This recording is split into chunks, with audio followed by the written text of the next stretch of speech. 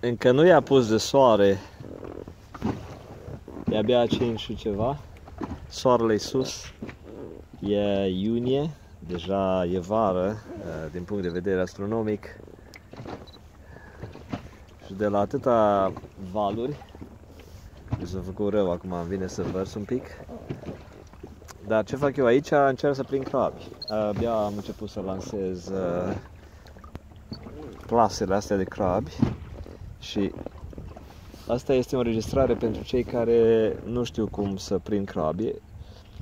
Fiul meu mi-a împrumutat o plasă mai mare, uh, o plasă de vreo un metru jumate sau un metru și ceva pe un metru și ceva. E ca o cușcă uh, metal și uh, e mai sofisticat un pic. Dar acum am gândit să folosesc plasele astea mai mici și asta e tot plasa lui. Uh, deja am mai lăsat două în apă și care e ideea aici? E un mic buzunar în care pui niște carne veche, carne care miroase tare. Asta este carne de pui pe care am luat-o de la un magazin uh, polonez, de unde cumpăr eu de obicei uh, mâncare de asta de patiserie făcută la ei. Um, cred că e a treia experiență care m-a făcut să-mi fie greață să mă mai duc acolo. Uh, odată am cumpărat un fel de produse de patiserie, un fel de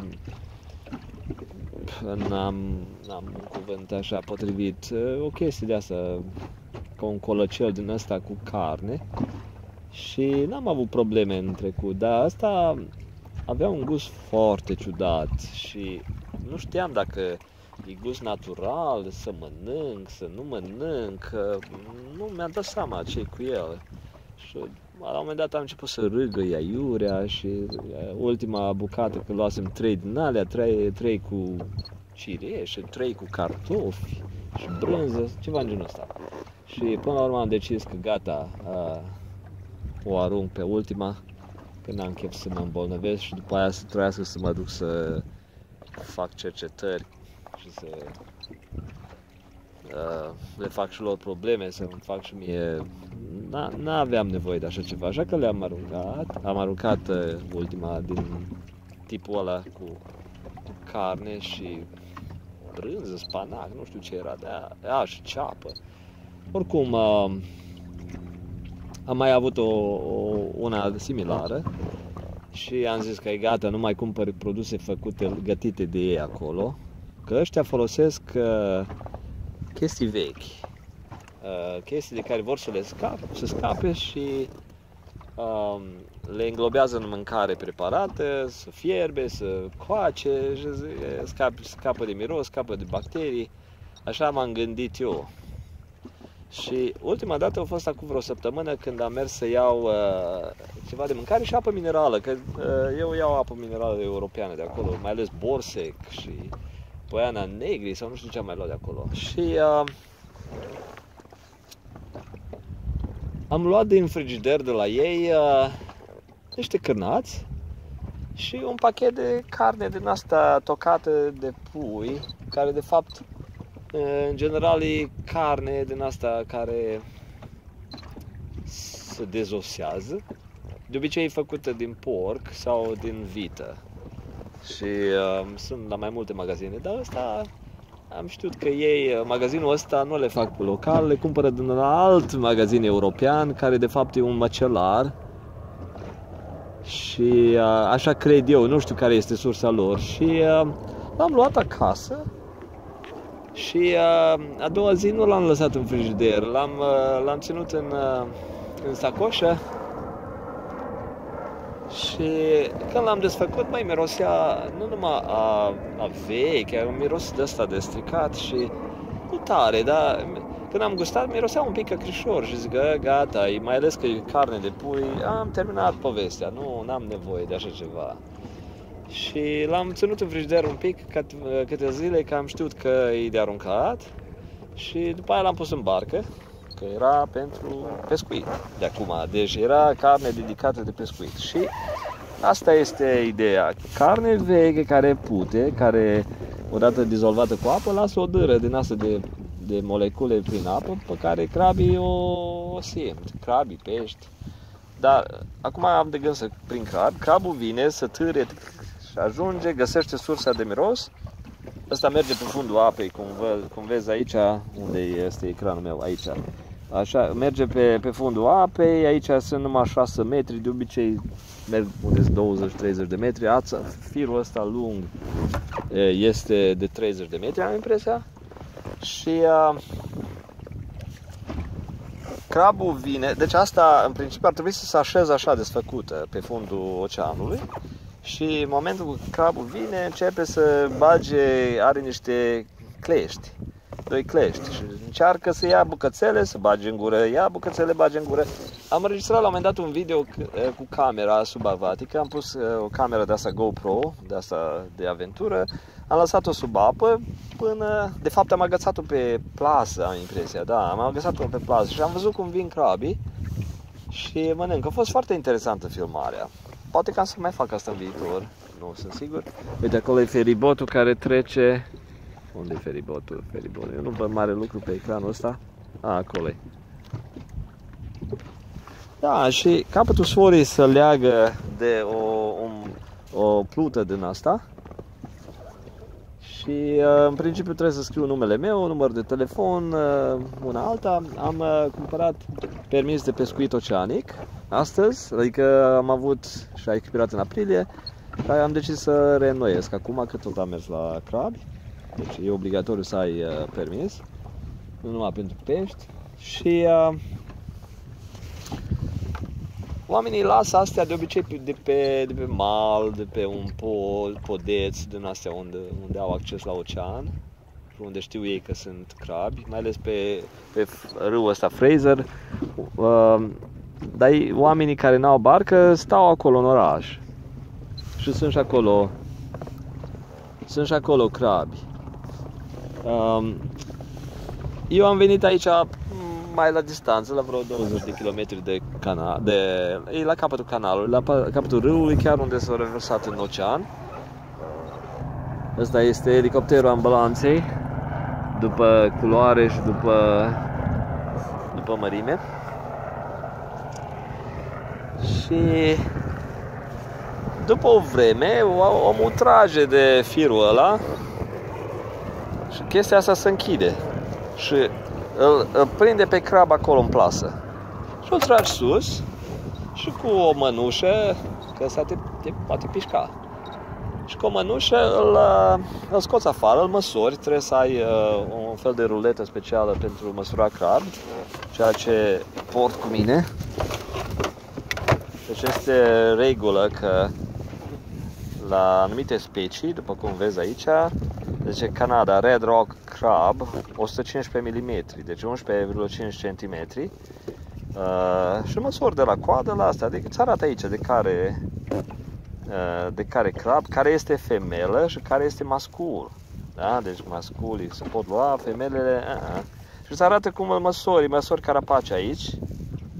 Da? Deci asta e și uite, Alaska King Crab, 7 uh, 7 inch.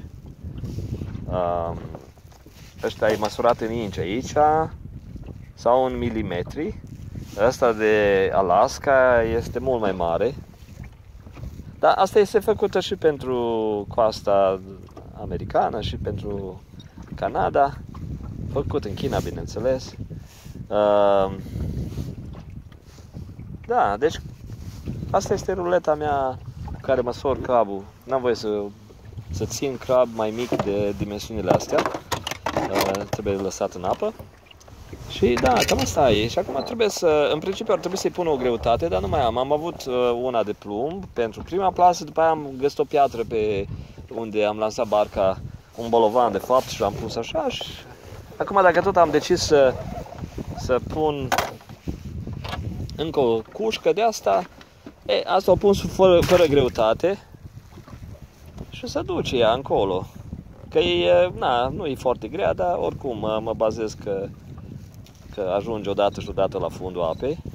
Și e cu ața asta colorată frumos, e foarte vizibilă după ea. Și acum, uh, dacă mă uit după celelalte, nu le văd, nu? Că e apa mare aici. Adică nu e adâncă, dar e, e suprafață mare și e foarte dificil să vezi, uh, să vezi unde sunt celelalte balize. Mai ales când ai soarele în ochi, te chiorăște și mi s-a întâmplat să, să mă rătăcesc așa, adică să nu mă, să, să, nu mă, să mă pierd, că știu unde trebuie să mă duc înapoi. Dar deja am, am mers vreo 2 km și mai bine de unde am lăsat celelalte plase.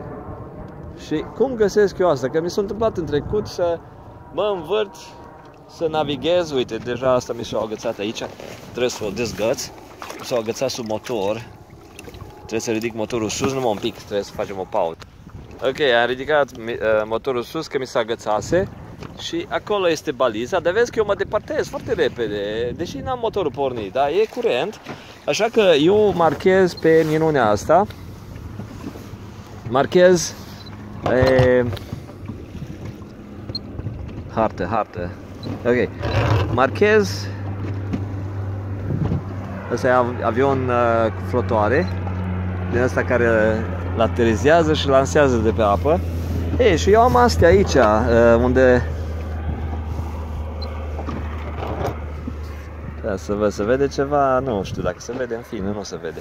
În fine, dar le-am marcate pe hartă și am și aici pe pe sonarul ăsta, nu numai adâncimea, este la 6 metri și ceva, ceea ce nu e adânc, dar am, uh, am harta și mă arată pe unde am fost. Deci eu dacă mă duc și aș fi putut să le marchez, dar nu avem niciun chef. Și facem zoom out și în principiu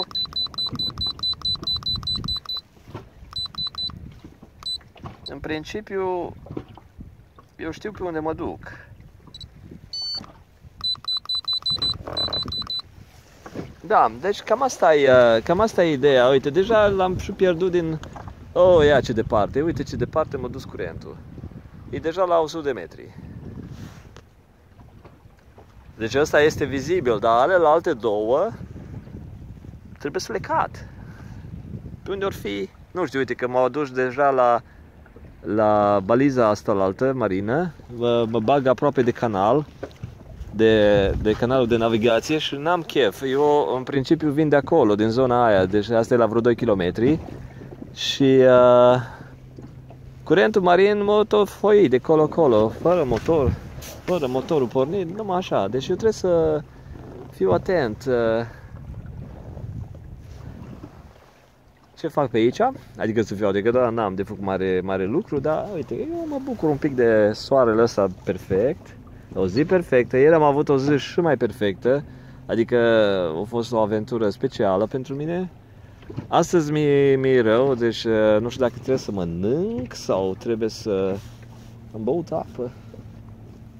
Băut apă, dar păi nu știu, mă, că tot îmi vine să îmi dau stomacul afară. Și uh, nu e, nu e foarte rău, nu e foarte rău, dar ia, uh, nu mă așteptam la, la valurile astea pe apă.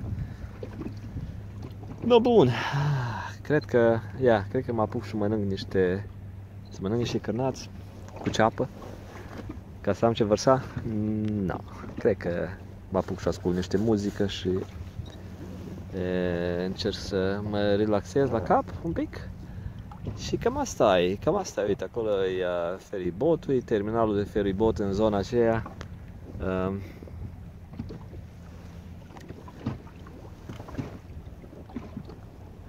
cât vezi cu ochii apă, bine, dincolo e insula Vancouver, care blochează valurile mari ale oceanului.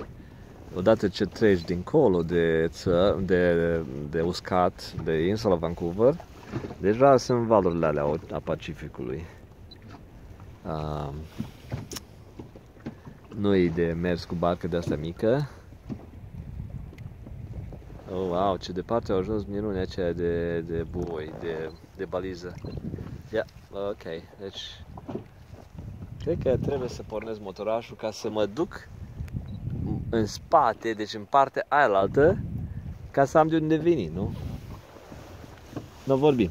Asta este aventură de încercat de prins crabi.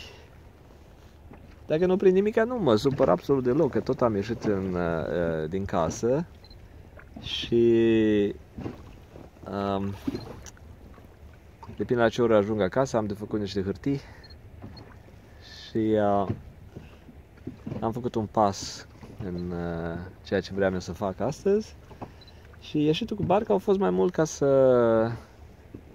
ca să fac ceva legat de crabi că mă gândesc că să vând barca asta și uh, să zic că am făcut ceva vara asta că viața vine și se duce, se duce foarte repede mai ales când uh, când uh, sunt prieteni care se duc. Îți dai seama, atunci te trezește la realitate. Bă, fă ceva cu viața ta până nu se duce. Că o ai, ți s-a dat cadou de creator sau de natură, dacă vrei să-i zici natură și după aia, dacă nu o folosești, ți să ia. Oh, era un peștijor îndebunatic care își o sări din apă. Dar era mic ăla. Cred că trebuie să mă refac instalația mea de, de cameră subacvatică că am cameră de asta, dar eu vreau să văd pe monitor, efectiv. Deci vreau să, vreau să am monitor aici, instalat aici pe o, o chestie de asta, o ciudățenie de asta de Mickey Mouse, de instalație de-a mea și uh, să pot să văd ce se întâmplă la fundul apei cu crabii, cu pești, cu una alta. Oh, wow, ce departe e Deja la vreo 600 de metri, 500 de metri baliza mea. No, bun, hai că trebuie să mă duc înapoi. Vorbi, pa, pa!